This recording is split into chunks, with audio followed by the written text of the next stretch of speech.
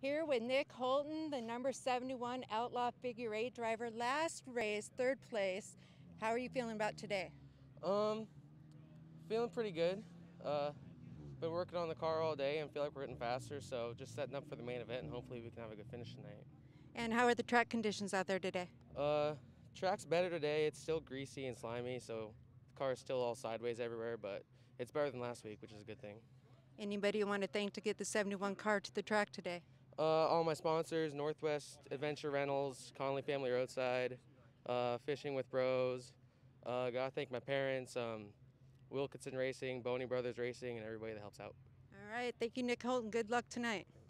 And thank you, Brandy and uh, Nick. I've been so impressed with that kid, young, good young head on his shoulders, and uh, looking for good things to come from him. Before we bring you to the lineup, I want to remind you that Bud Light Seltzer is unquestionably good with black cherry, lemon lime, strawberry, and mango. Refreshing Bud Light Seltzer has less than two carbs and is your perfect summer refreshment. It's 20 laps for It the is. Frank's Radio Outlaw Figure 8 car. Starting on the pole will be the 55 car of Doug Wilkinson. Outside of Doug will be the gentleman we met just a minute ago, the 71 of Nick Holton. The 50 car will be inside of row two. That's John the Cowboy Carlson. Outside the 33 car of Nick Gunderson. And rounding out the field in the zero car is Jillian Lapato. All right, here we go. 20 laps coming up. If you were with us last time, we had the Outlaw Figure Eights on Home Track Heroes. Uh, pretty exciting uh, couple of laps in that one, uh, involving the 55 and the 74. The 74 we don't see out here tonight, but Doug Wilkinson has gotten that 55 car back up and running. And John Carlson, our points leader, coming into tonight's action. He is leading with his two main event wins. See if he can come up with another one here for our Frank's Radio Service Outlaw Figure Eights. Thanks, Frank. Yeah, you know, and right now the, the drivers are starting to think about points. They if they shouldn't be hitting a point in the time of the year, but now it's getting, you know, they've only got a couple of events left, Yeah. maybe. So you start looking at them. As you said, Carlson out front by eight points over Gunderson. Um, those two are bu- kind of battling for the championship. Nick Holton's in third place uh, with a very, very outside chance of, of uh, getting up there and making that uh, 2020 crown his. But I think it's going to come down between Carlson and, of course, Nick Gunderson, and they're two of the best. True, they are, and, and they both have been doing this for so long, as has Doug Wilkinson. Jillian Lopato, fairly new into this, and obviously Nick Holton, who uh, I, I really like that young man. He's he's got a future in racing, whether he sticks with figure eights or whether he can get into an oval track ride. Be kind of cool to see what that young man can do. you know, and, and kind of changing the subject up just a little bit, but a big shout out to Thomas Stanfield. Um, he has run roughshod over the NASCAR mini stocks here at Yes. Evergreen Speedway. Yes. But, you know, we last week on the show made a comment that they're kind of closing up on him a little bit. He wasn't so far out front. But back to the story, Thomas and his crew loaded up the car, drove down to Madera, California for the uh, first Olga California Dream 100, 100 laps at Madera Speedway, and uh, our own Evergreen Speedway, Tom Stanfield, Thomas Stanfield, absolutely kicked the crap out of this California did. guys. So He did. it was really cool. The top three cars were out of the state of Washington. The first place car from Evergreen Speedway, second from South Sound Speedway, and uh, Mr. Rhodes from the Tri Cities area rounded out that top three. But uh, really, really cool to see that that car. It's been good here. Is good wherever it goes. Yeah, that thing was really impressive. I, I got to watch it on. Uh, it's called Short Track TV, uh, which is a, uh, a. It was on Facebook, but Mav TV also recorded it. So it'll be coming up. Check your local listings if you get Mav TV, and you can see what it is that we're talking about. The oldest California Dream 100 put on.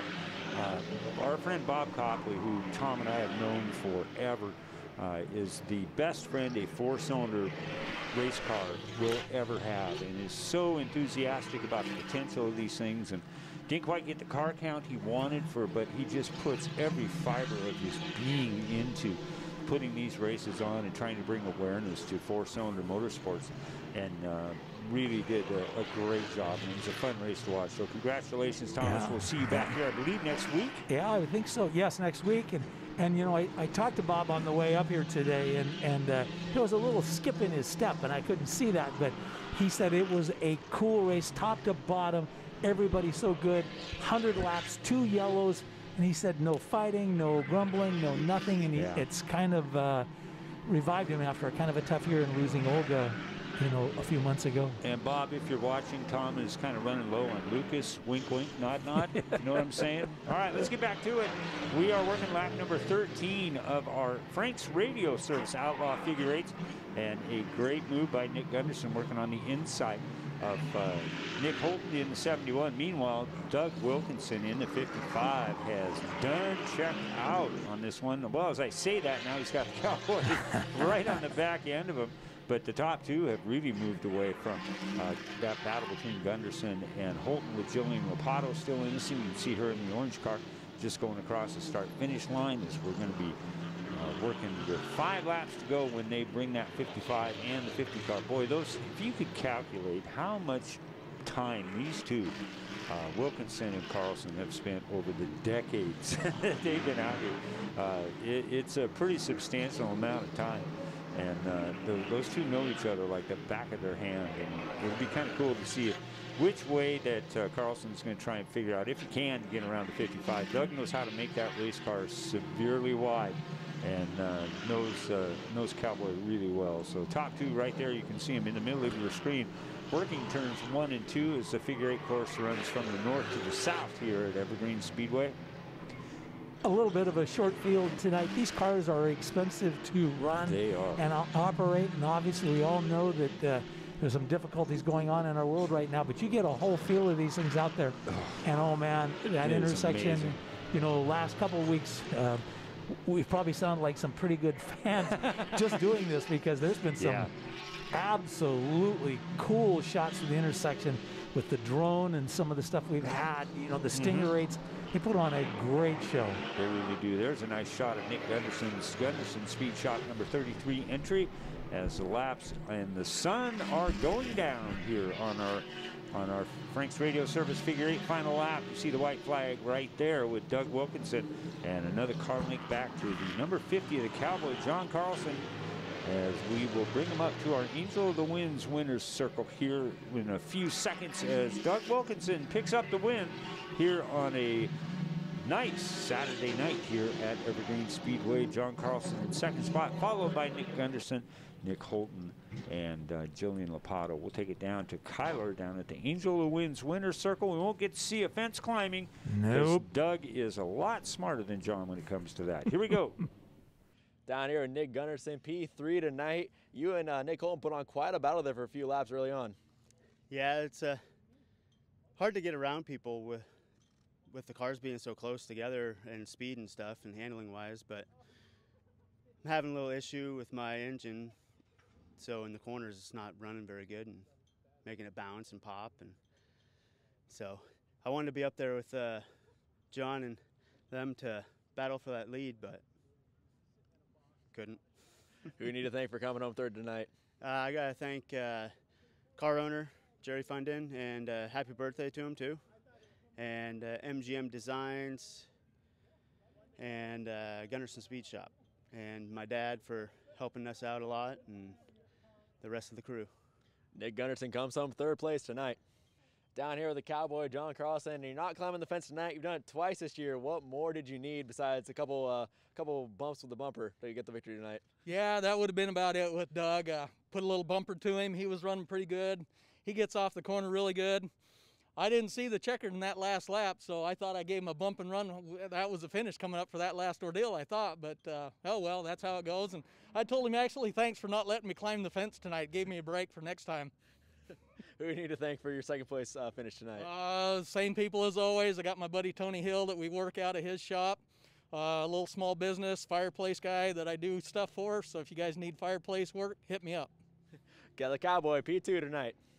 Down here in Angel of the Winds, victory lane with Doug Wilkinson. And uh, you had the Cowboy John Carlson all over your rear end that entire race. How were you able to hold him off? he was very nice to me. He he pretty much just was patient, and that's what it takes sometimes. And it worked out for us.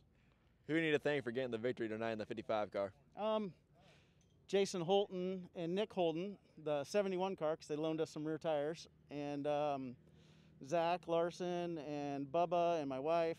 Um, most of all, I just like to remember we just lost a friend this this week, and that was uh, Malcolm Lindberg. and my mom earlier this year, and Gordy uh, Oberg and um, Warren Cox, and we've lost a lot already. Hopefully, we can turn this world around. An emotional victory for Doug Wilkinson tonight. All right, here with the number 49 Hornet car of Calvin Miller. Last race you missed due to heat exhaustion. What have you done today to prepare in the heat? I've been standing in the shade all day and drinking everything I can see. It's not as fun as they say it is to get heat stroke, and uh, hopefully I can stay out of doing that today and be able to race for nationals. And looking for your first podium, what's it going to take to get you up there today? Well, it might be a little bit rougher. It's a money race tonight, so we'll have to run it in deep and uh, see how it goes, I guess, play it by ear. And how do you like the track that they call the boot? Well, it's a lot different than the Hornet track, and I think there's going to be a lot of unexperienced drivers. I've ran it once or twice before, and uh, hopefully I have an advantage of it just because of that. We'll see how it goes. And who do you want to thank for getting to the 49 car to the track today? Oh, my mom and dad, Palfi Drywall, and everybody that comes and works on it in the shop, Tanner Emery. All right, thank you, Calvin Miller, looking for his first podium this season. All right, Interstate Batteries bringing you the annual Hornet Nationals out here at Evergreen Speedway. 50 laps make up the distance. And before we get to that, we want to remind you HCI Steel Buildings offers premium uh, engineered commercial buildings, kits, metal carports, RV and boat covers, storage facilities manufactured right here in Arlington, Washington. Here's a lineup. In the double zero will be an in-car camera, pretty cool one too. Uh, the double zero of Dan Miller. Outside of Miller is Tanner Emery. The 81 of Bobby Fisher. Outside of Bobby Fisher in the 45, Nick Beecher. The 143 car inside third row will be Damon Claiborne, Blaine Manning in the 68 outside of that. In the fourth row, Calvin Miller in the 49 with an in car, and 82 of Steve Hack. In the fifth row, the 76 car inside with a camera, it'll be Jamie Corbett. Outside of him, in the 13, it'll be John Newbaum. Uh, in the sixth row, the 70 of Dawson Cox, who races a little bit of everything here at Evergreen Speedway. He'll have an in car camera. Outside of Dawson in the 54X will be uh, Brendan Terrio, and uh, we look for good things out of him. In the seventh row, it's the 77 of Christian Miller. Outside, 33 of Ryan Hausenfluck. And rounding out the field in the eighth row, is the 15th of Matt Snyder. And outside, the 16 car of Peyton Hop. And Terrio is our points leader right now. He has a nine point lead over Newbaum and then Corbett in that third spot. So keep your eye on that, see how they do tonight, and we'll see how the points shake out. All right, here we go. We are going to get this thing underway, and you're going to get to see what they refer to as the boot course. It's different than anything we've seen all season long. We uh, have normally seen them uh, run from the north end of the facility down to the south end, but this time it's going to be a little bit different. This is the left boot instead yeah, of the right exactly, boot. yeah. This is the Italian boot, and uh, well, I don't want to go down that road. Nice shot by Miller. As I mentioned, he's going to have a couple of onboard cameras for us. One front out the and front. back. Yeah, this is pretty cool. I like that camera out back. That I is cool. A lot. And we are underway as they are uh, chasing Tanner Emery down. They'll take that access road to make the right hand turn down on the short chute there, and then hard left onto the 3 eighths. The yellow flag is out, Steve. I don't know why. I don't either. One Maybe- thing you- oh, you know, I'm going to guess that the NASCAR officials didn't like that Oh. start. I'm going to guess that, that there was a little bit of a jump there. You don't think Beecher took advantage of a flagman, do you? Nick?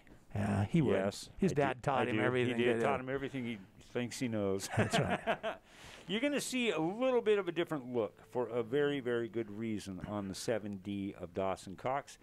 And uh, our community here at Evergreen Speedway lost one of the good ones in uh, uh, gentleman we referred to as the maniac, Malcolm Lindbergh, who ran figure eights out here for many, many years in the 90s and the early 2000s. And Malcolm just absolutely had the best smile of anybody uh, out here. He was just had no fear at all and a ton of respect by everybody who was involved in this place. And, and I always take great pride in the fact that uh, there was only one thing that Malcolm was afraid of, and that was a microphone. he did not like to talk on the radio or do public address interviews. Green flag is out. They're back Yep. at it. all right, Malcolm, we're going to be thinking about you during this one and uh, for the rest of the season, too. So let's try it again. And a great shot, again, by Dan Miller in the double zero cars. We watched Tanner Emery take the early lead. There's that double zero, the white card hugging the bottom of turn four, coming off of the 3 8 course. And now they'll run down and uh, make that uh, left-hand turn onto the fifth mile. Some great traffic right there for It that is. second spot. Man, they're two. They're, about four wide right there for a minute. As they go down, make a right turn. I can't even keep my left and my rights together. I know, this is throwing on to turn bit. three, and, and around they come. But a great battle right there with Miller, Fisher, Beecher, Manning. That whole group just really going at it right now. And Tanner Emery pulling away in the early parts. 50 laps for the Hornet Nationals here at Evergreen Speedway Interstate Batteries. Like we mentioned, every time has behind, been behind this group since we put them out on the track. A long time ago, there's been some pretty creative drivers that have made their way through this. A, a great starter for moving up into a mini stock or a street stock or a pro late model. I mean, look at Chad Fitzpatrick. He kind of made that whole transition out of these cars, and you can see what it's done for him in the pro late model. We'll see them next week here on Home Track Heroes. We're going to see pro late models. We're going to see the Frank Radio Outlaw figure eights, the Interstate Battery Youth Hornets, Hornets, and Stinger eights. We're going to see the uh, Superstock figure eights and round it all out with a Northwest Motorsports Street Stock. So Yeah, that show. one could be a really, really good main event. Yeah, it, I, I'm looking forward to that one. That one's going to be good. So make sure and join us here on CW11 next Sunday, 5 o'clock on your uh, Channel 11 dial. And also check it out on YouTube as well. Evergreen Speedway's been putting it up on the Evergreen Speedway YouTube channel as well. And like we always really appreciate the comments that we get, the suggestions that we get. Heard from Rob Dees. Uh, who we'll see him next week in a pro late model. Yeah. And uh, it turns out I've been calling him by a completely wrong name several times. So don't hesitate to get a hold of me we're messing up. You Um, don't want to do that No, No. no, we want to make sure and get this right. because uh, Rob's uh, significant other, aunt, grandma, when they get the fans back in the stands, they'll be looking for a come- piece of you. Oh well, You know. I'm not hard to find. How how uh, why do they run different courses with these cars? Is it? I mean, what's well, the? you know the simple, and I this I don't mean to sound contrite because they can, because Okay. they're set up to do that. That's the intention when they when they brought these cars in. It was you know you never knew you could run this course on a heat race, and then you could turn around and run a completely different course on the main event some nights. And- So and don't it- set the car up just to turn Yeah, left because yeah. they'll throw a right-hander at they, you they and can mess do you up. that. Yeah, and there's been several different configurations. Well, they should have thrown tracks. something to Tanner Emery because man, that cat's just out there doing he his thing. Has. huh? He really has. It's been. Emery followed by Bobby Fisher, uh, Wayne Manning, Dan Miller, Damon Claiborne, and they took away the rest of our. Where did Nick Beecher go? I don't know. Maybe I don't know. There he is. I bet that's him. No, that's not him going underneath us. That's a great shot. Hoping to see the, the hood on the 7D. There he is, coming right out. Beecher's back in about that ninth spot. There's so, Nick. Yeah. Way to go. Looks like a car slowing down there. 50 laps make up the distance. Interstate Batteries bringing you the Hornet Nationals and bringing you our entire night of racing here. Also want to remind you, uh, so I don't forget while we've got the time here about Natural Factors. They're one of the largest manufacturers of nutritional products and vitamins in North America. If you're looking for a new career, Natural Factors has job openings in Monroe. So grow your career with Natural Factors. So thanks to all of our partners for getting behind this joint. If you have an interest, if you own a business or you've got some pull at a business you work at, uh, a great way to get your name out there uh, is to get a hold of the promotions department here at Evergreen Speedway Monday through Friday. They'll be happy to put together any type of plan that works for you. It looks like caution is out. We've got the uh, number 16 car in the fence, Peyton Hop. Oh, look at that.